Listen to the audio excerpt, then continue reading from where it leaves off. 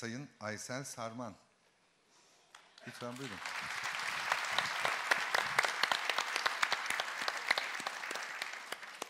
Hoş geldiniz. Ben Aysel Sarman. 1948 yılı Nisan ayında dünyaya gelmişim. Ben 40 günlükken annem vefat etmiş. Babam ve babaannemle çok güzel bir çocukluk yaşadım. Babaannem ailenin büyüğü olduğu için bütün eş dost akraba bizde toplanır. Güler söyler eğlenirdik. Ta ki babaannem 13 yaşındaydı. Ben 13 yaşındayken vefat etti. Babaannem vefat edince ben çok yalnız kaldım. Huysuz, yaramaz bir çocuk olmuştum. Bütün amacım kendimi ispat etmek, ayaklarımı yere basmaktı. Lale Varaloğlu Tiyatrosu'nun çocuk oyunları için çocuklar aradığını duyunca müracaat ettim. Kabul edildim. Üç seneye yakın ufak tefek rollerle sahne aldım. Bu arada Türk sinemasının yönetmenlerinden Bilge Olgaç hanımefendi gelmişti. Benim hayat hikayemi öğrenince benim asistanım olur musun dedi. Dünyalar benim olmuştu. Eşimden yeni ayrıldım. İstersen ev arkadaşlığı da yapabiliriz. Biz Bilge ile altı sene hem sinema hem tiyatro bir arada götürmeye başladık. Ahmet Gülhan'la tanışmam bu zamana geldi. Ahmet Gülhan bana Ulvi Uras'ın benim yaşlarımda bir oyuncuya ihtiyacı olduğunu söylemişti. Götürdü beni, tanıştırdı. Ulvi Hoca beni çok beğendi. Orada da Kemal Sunal, Perran Kutman, Şemsi İnkaya, Ayben Erman, Gürol Gökçe gibi arkadaşlarımla üç sene sahne paylaştım. Gener Tiyatrosu'na transfer oldum. Orada da Oya Başar ve Orhan Erdamar'la bir üç senem geçti. Fakat aldığımız para yetmiyordu. Zor geçiniyorduk.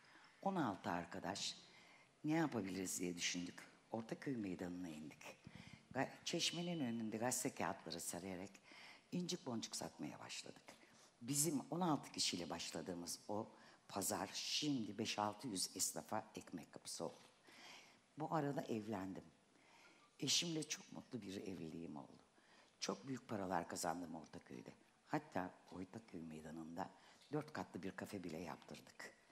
Ta ki eşimin rahatsızlığına kadar. Eşim rahatsızlandı. Altı ayla bir sene arasında ömür biçtiler. Ben neyim var neyim yok hepsini sattım.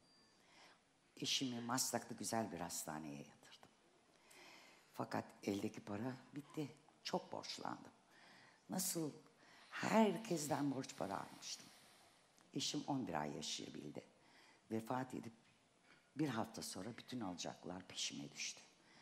Her şeyim haciz olmuştu. Hatta evden bile çıkarıldım. O kadar kötü durumdaydım ki hala da ayaklarımın üstüne basmak inadındaydım. Gene indim Ortaköy meydanına. Bir banka oturdum. Ne yapacağımı düşünürken benim yerimde siz olsaydınız ne yapardınız? Nasıl davranırdınız?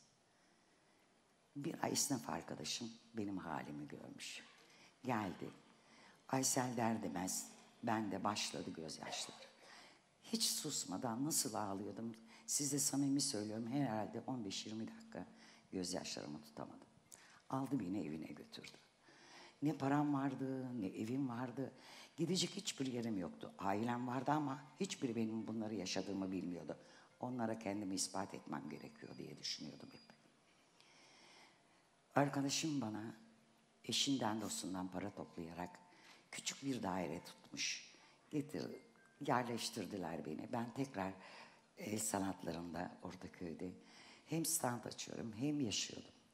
Fakat işte terslikler insana yakasını bırakmıyor derler ya. Hastalandım.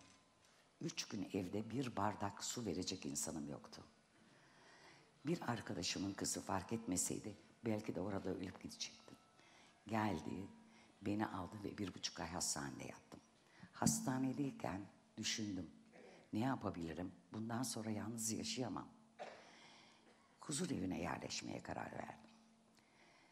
Müracaat ettim. Huzur evinden bir sosyolog bayan geldi. Biraz sohbet edince bana dedi ki Aysel Hanım niçin huzur evi? Sizin sanatçı yaşam eviniz var. Ben o güne kadar adını duymamıştım. Bayan gitti. 10 gün sonra gel, telefona işittiler. Yarın sizi almaya geliyoruz diye. Arabayla geldiler beni. Nasıl bir güzel ağlar. Bir gittim ki tatil köyü gibi bir yer. Allah bana tekrar yaşamayı nasip etti. Ben orada bir bardak su verecek el bulamazken şimdi bana koskoca sevgi dolu ellerle bütün suları veriyorlar. Bütün sevgilerini sunuyorlar. Teşekkür ederim Büyükşehir Belediyesi. Teşekkür ederim Tülay Aktaş. Teşekkür ederim Bilim sorumlumuz Fatih Aksu, Sibor hocamız Bekir Bostan. Hepinize teşekkürler. Bana çok güzel bir yuva verdiniz. Sağ olun, var olun. Aysel Sarman, sevgili büyüğümüz, sanatçı büyüğümüz. Biz çok teşekkür ediyoruz. İyi ki varsınız efendim. Sizler de. Çok sağ olun.